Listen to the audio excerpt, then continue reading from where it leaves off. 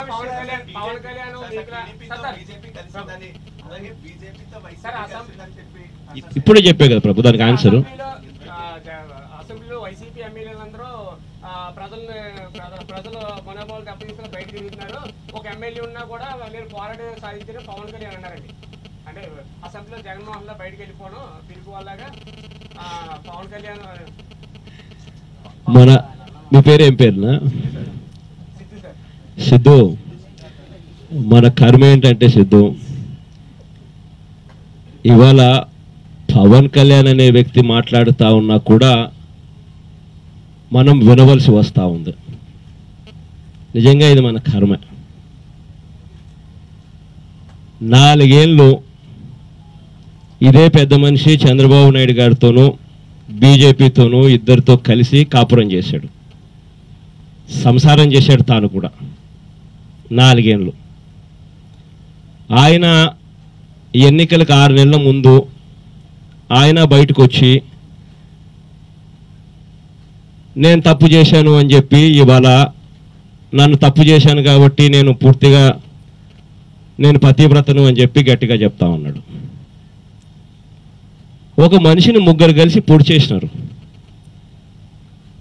ఆంధ్ర రాష్ట్రాన్ని పొడి చేసినారు ముగ్గురు కలిసి. పొడిచిన తర్వాత నాలుగేళ్ళు గమ్మనున్నారు. కలిసికట్టుగా సంసారం చేసినారు. నాలుగేళ్ళు గమ్మగా ఉన్న తర్వాత ఆరు నెలలు ఎన్నికలకు ముందు బయటకు వచ్చి ఒక్కొక్కరు ఒక్కొక్క మాట మాట్లాడతారు. ఒకరేమో నేను తప్పు చేశాను అని అంటాడు. ఇంకొక ఆయనేమో నేనుగా తప్పు చేసింది మిగతా ఇద్దరు నన్ను మోసం చేసినారని ఇంకొక ఆయన అంటాడు.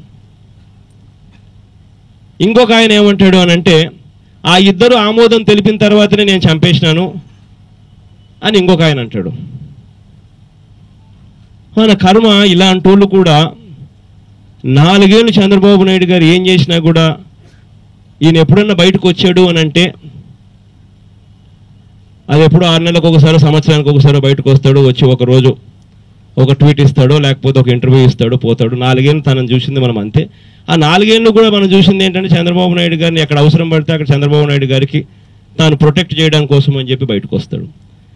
ఇలాంటి వ్యక్తి రాజకీయాల్లో తాను కూడా మాట్లాడడం మొదలు పెడితే దాని గురించి కూడా మనం సమాధానం చెప్పాలి అని అంటే నిజంగా ఎక్కడికి విలువలు? విలువల గురించి తాను మాట్లాడతాడు. నిజంగా ఎక్కడున్నాయండి తనకు విలువలు? నలుగురు నలుగురు పిల్లలు.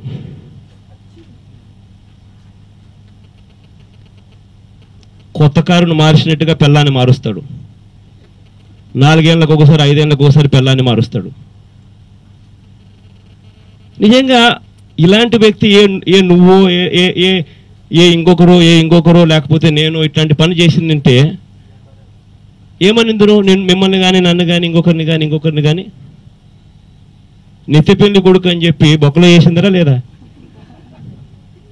ఇది పాలిగమి కాదా? ఇలాంటి వాళ్ళు ఎన్నికలకు ఆరు నెలల ముందు బయటకు వచ్చి తానేదో సచ్చీనుడని ఇంకొకటని ఇంకొకటని వీళ్ళు మాట్లాడడం. వాళ్ళని సీరియస్గా మనం తీసుకొని వాళ్ళ గురించి కూడా మనం విశ్లేషించుకునే పరిస్థితులకి మనం రావడం అంటే నిజంగా రాజకీయాలు ఇటువంటి పరిస్థితి చూసినప్పుడు నిజంగా బాధ అనిపిస్తుంది.